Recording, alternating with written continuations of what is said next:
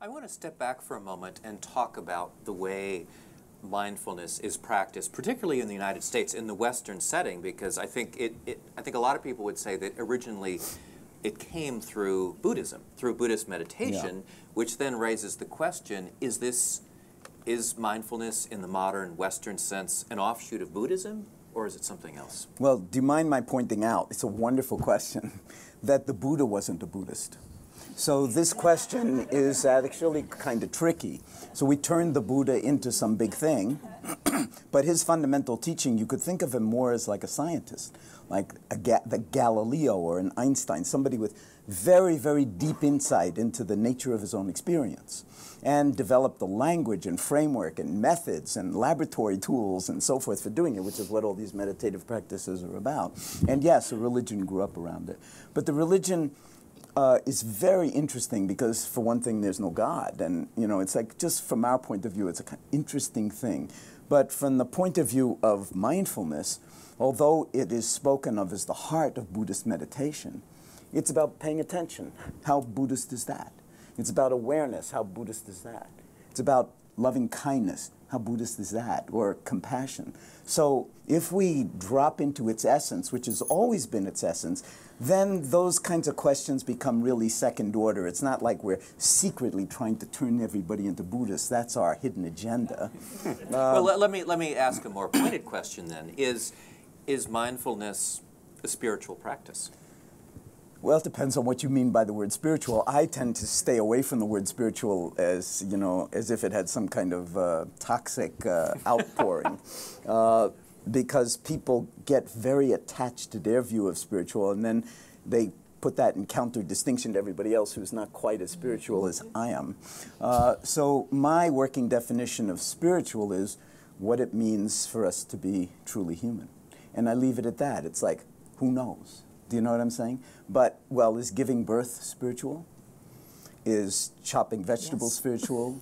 Is seeing the look in your daughter's eye when she comes home from school, is that a spiritual experience or not good enough? Not really good. so, you know, from that point of view, what isn't spiritual?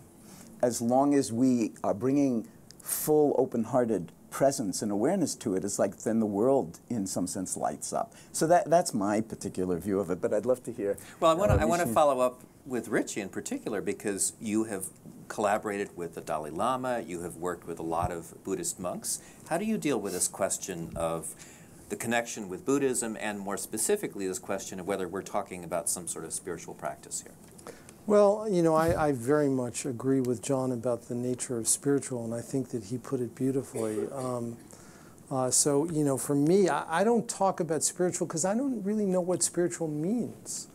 Uh, and um, uh, I think that what we're talking about is part of every human being's basic innate capacity. Yeah. Uh, we all have the capacity to be aware. We all have the capacity to express compassion and loving kindness. And you can call that whatever you want to call that. It doesn't really matter. But that is part of the basic human repertoire. In terms of the work that I've done with the Dalai Lama and with other Buddhist monks, um, from a scientific perspective, if we want to study these kinds of practices, we need a group of people who've been trained in a very standard way. And uh, in some sense, we have simply taken advantage of um, samples of convenience because these are individuals who've received extremely similar training. We can be sure that um, uh, the kind of meditation practices that each person was doing was the same as the other person. Uh, and that's extremely important if you're going to bring in a group of people who are asked to engage in a specific kind of mental practice. You want them to have been trained in the same way. So um, uh, uh we have just taken advantage of that kind of sample of convenience for, for, for that reason. There may be other traditions where there are comparable samples, uh, and uh, in fact, there are serious scientists who are studying um, practices that come from very different religious traditions.